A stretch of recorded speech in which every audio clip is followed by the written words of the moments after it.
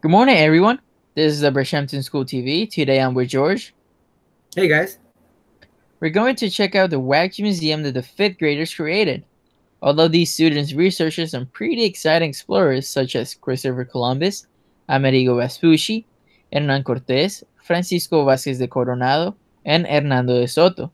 Let's go check out the fifth grade Wax Museum. Hey, Chris, did you buy me a ticket? Nah, sorry, George, they were sold out. Hernando Cortés by Marcus Miller. Explorer's name Hernando Cortés.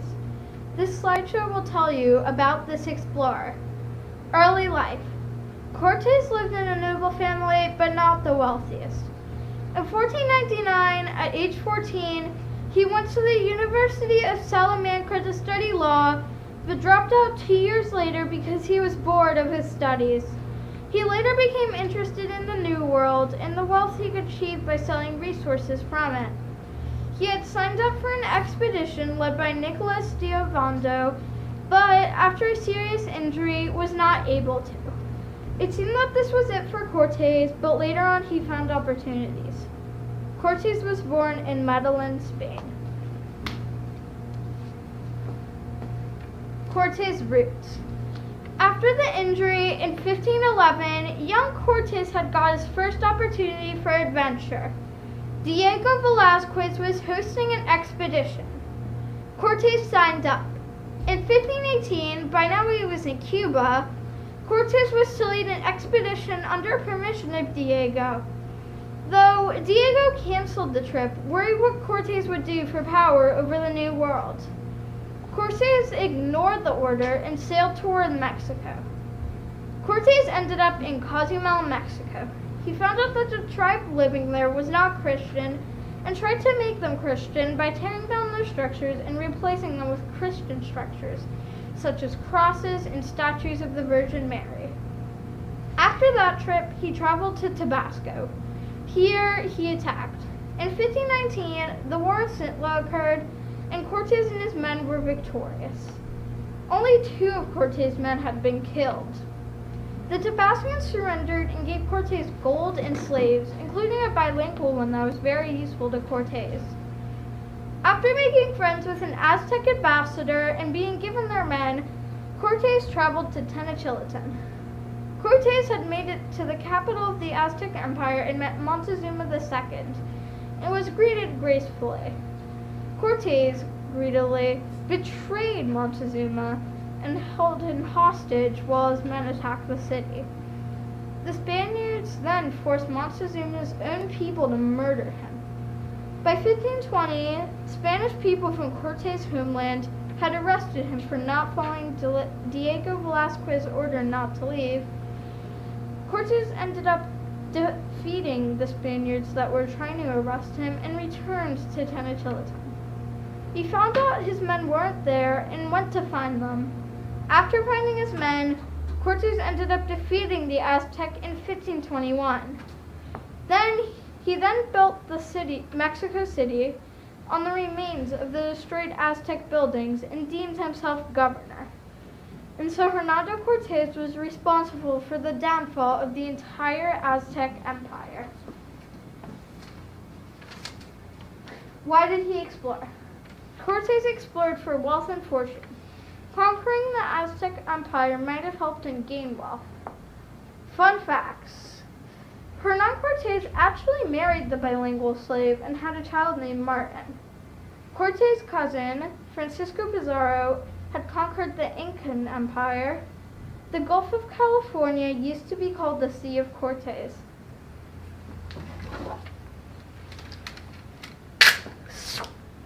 Thank you for seeing my slide. That was really good, Marcus. Beautiful. Thank you. Use your speaker voice so that way we can pick it up on the mic. Thank You don't have to find the voice up zero, please. You're listening or you're reading. This is Hernando de Soto.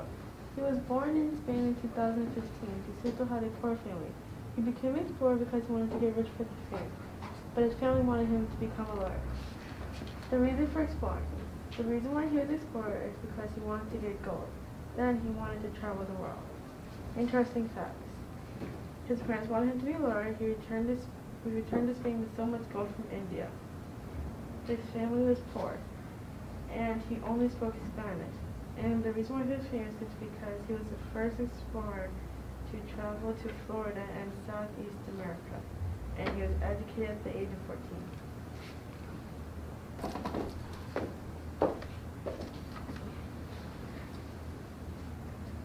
Early life. History says that Francisco was born in circa 1510 into a noble family in Salema, Spain. Coronado was the younger son, and as such he did not stand to inherit the family title or estate. As such, he decided to seek his fortune in the New World. In 1535, he traveled to New Spain as Mexico was then known, with Antonio de Mazo, the Spanish victory. One, his family had titles with from his father's service as royal administrator in Granada. Within a year after his arrival, Coronado married Beatriz, uh, the youngest daughter of Alonso de Estra, former colonial treasurer.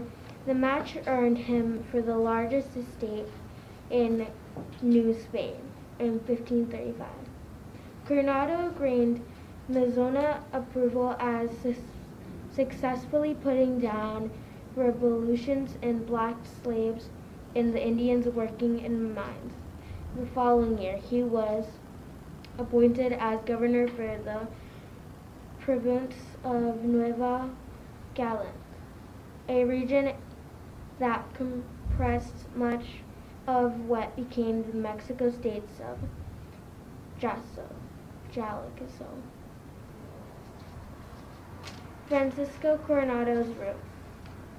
According to Google, the route that Francisco Coronado traveled was north of one side or the other of today's Arizona, New Mexico state line. And from the headwaters, the Little Coronado River, he continued on until he came to Zuni River. He followed the Zuni River until he found region inhabited by Zuni people. 5. Age of death, 44.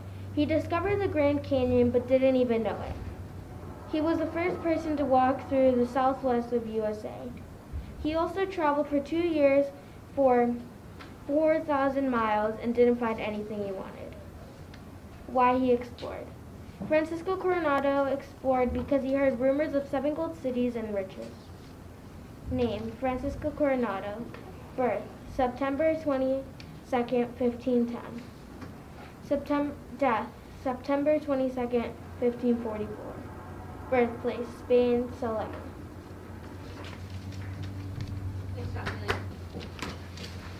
Christopher Columbus. Why did Christopher Columbus explore? Well, he was hoping to find routes to India. According to an eyewitness to History.com, his plan was sail west until he reached Asia, the Indians. In the 16th and 15th century, they wanted to find sea to the Far East. Columbus didn't discover North America. Columbus wanted to find new routes to China, India, Japan, and the Spice Islands. If he could reach these islands, he would be able to bring back rich cargoes. Where he had sailed and what ships he used. Christopher Columbus had sailed from Spain. He sailed across the Atlantic Ocean. Columbus led his three ships, the Nina, the Pinta, and the Santa Maria. He sailed at the Spanish port of Palestine, August 3, 1492. He wanted to sail west until he hit Asia. Columbus needed three ships because he had 90 men. Christopher Columbus's family. He married Felipa Percella. They had one son named Diego in 1480. His wife died soon after that, and Columbus moved to Spain. He had another son with Beatriz and Cruz de Arena. His mother was called Susanna Fontes His father was called Domenico Colomba. His sister was called Binachita Columbus. His brothers were Bartholomew Columbus, Fabianina Columbus, and Guacamole Columbus. Fun facts. He was born in 1451 in Genoa. He died in 1506. He was Italian. He never set a foot in North America. He was convinced he had landed on Asia. He began sailing when he was a teenager. Genoa was in the country called Italy. He died when he was 55 years old. Hi, my name's Jackson. Today I'll be teaching about Amigo, Amigo Vespucci. Vespucci was born in Florence, Italy. According to Live Science, he was fascinated with books and maps. His family and friend, friends were also very powerful Medicans who ruled for over 300 years.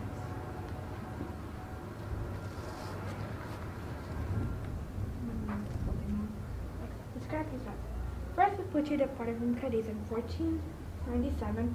and Vespucci reached the Americas, he was indeed the first European who crossed the equator. The reason for exploring. Well, he was there when they found Asia, so when he was exploring what he thought was Asia, he went back to prove that it was indeed a different continent now named after him, America. While Vespucci was exploring a freshwater river, while, while he thought he was in Asia exploring the Ganges River, he was truly exploring the, the Amazon River in South America. While they were exploring, they found a big snake. Him and his crew were scared, so they went back home. In 1501, he went back to South America and discovered a place now called Rio de Janeiro in La Plata River in Argentina and Uruguay. Interesting facts. Vespucci worked jobs such as merchant, stewards, and operated a ship outfitting business. He was born March 9, 1454 in Florence, Italy, and died February, February 22nd of 1512 in Spain. He also discovered the Amazon River while exploring, and he didn't even know it. He also studied Native Americans, and we also got the name America from our Amigo Vespucci.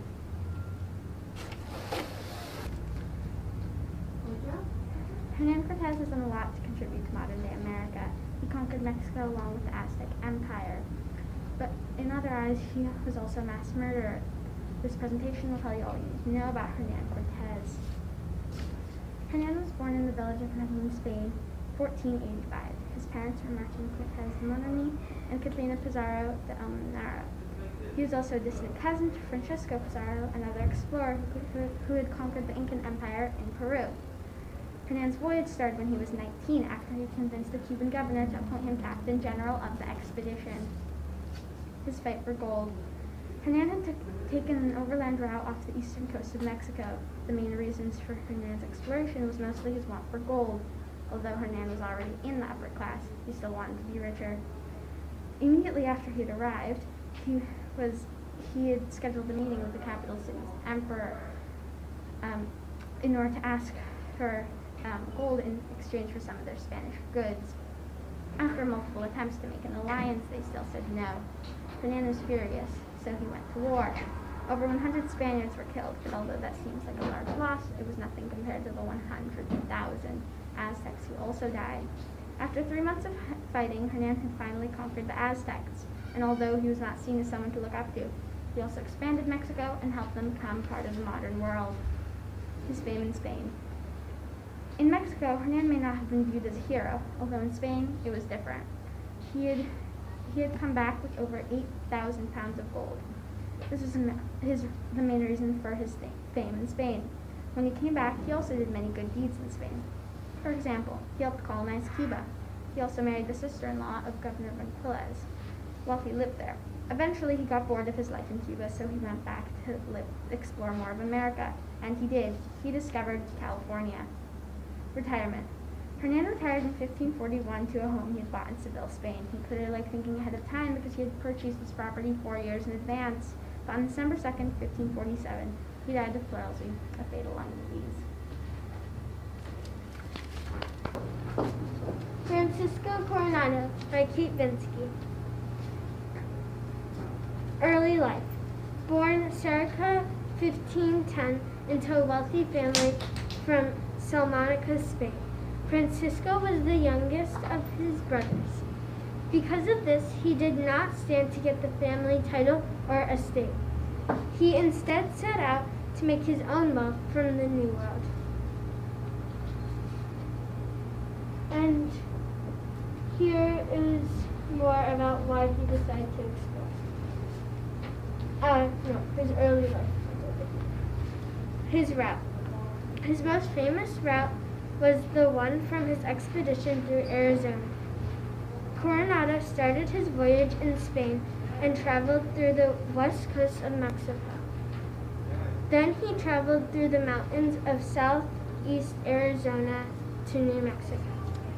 And that this is more of his route.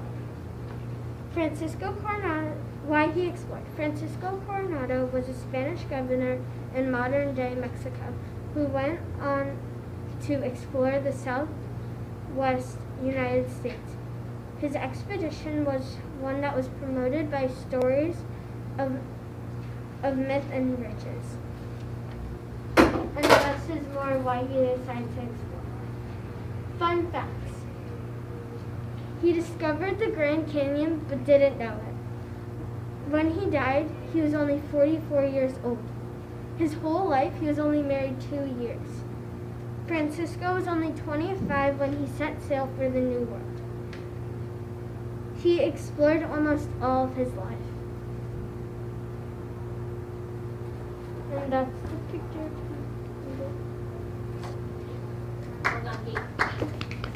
Get loud, Olivia. Mr. Henderson. 26 year old, please. Christopher Columbus by Olivia. Early life. Christopher Columbus' early life was he was born in Chinoa. It is the northwestern of Italy. He was the son of a wool merchant. When he was a teenager, he got a job for a merchant ship and stayed on the ship till 1476 when pirates attacked the ship. The reason Christopher Columbus explored was he liked the sea and was an experienced sailor. He also believed the world was round, so he sailed west from here so he'd end up in India because it was a rich trading place. His route. He wanted to find a water route across the Atlantic Ocean west to Europe to Asia, but he did not find the route. He found the Americas. His sea sailed was the Santa Maria, the Pinta, and the Nina. The Santa Maria could hold about 40 people and 20 tons of cargo, while the other ships, Pinta and Nina, could only hold 24 people and 60 tons each. Interesting facts. One, he was a cheapskate. He promised gold for whoever um, ran first. A sailor named Rodrigo de Triana to see land on October 12, 1492, but never got his reward. Two, Christopher Columbus was not It was given to him by the Genoas, what some people said. Three, he crossed the Bermuda Triangle. Four, his kids are Diego Columbus and Ferdinand Columbus. Five, he was born October 31st, 1451, and died May 20th, 1506. All of these facts were made by. Great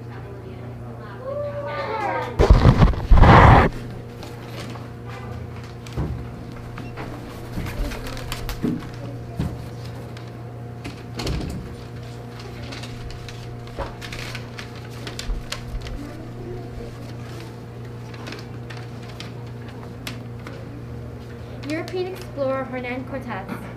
Early life. Hernan Cortez was born in Melendon, Spain in 1485. He came from a fairly famous family and his father was a captain in the Spanish army. His parents wanted him to become a lawyer and sent him to school to study law. When he was 14, Cortez heard of Christopher Columbus' discoveries in the New World. Hernan, de Cortez de Monoro y Pizarro, first Marquess of the Valley of Oxadia, 1485. Hernan Cortes was a Spanish conquistador who overthrew the Aztec Empire, and Cortes is born in Melendon, Spain, to an inferiority captain and his wife.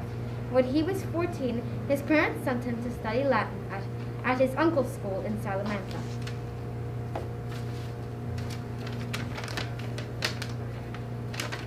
Describe his route.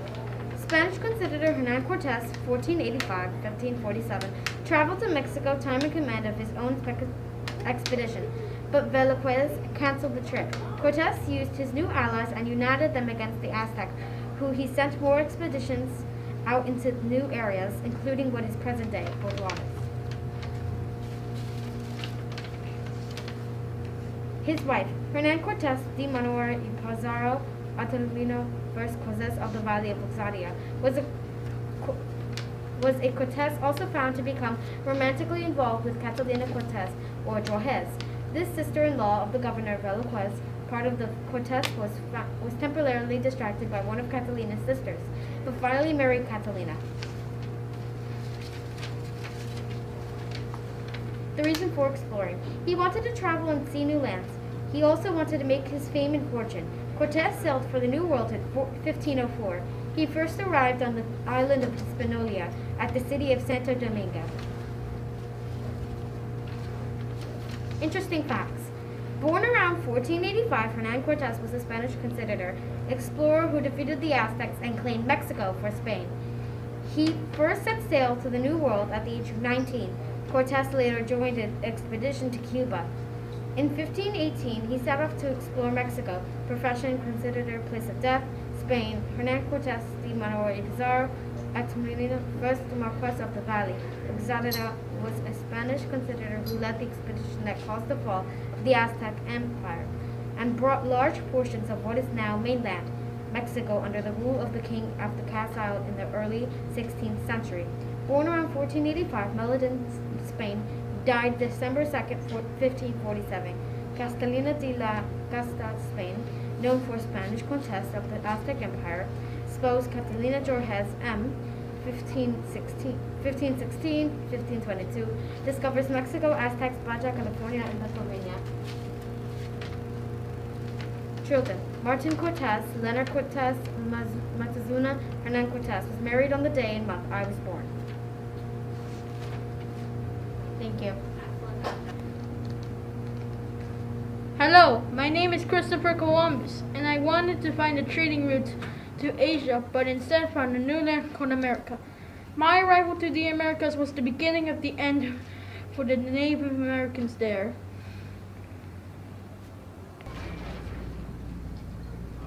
Hi, my name is Amerigo Vespucci, and I was the first Italian to realize and prove that Christopher Columbus did not discover Asia. He discovered a new land called America.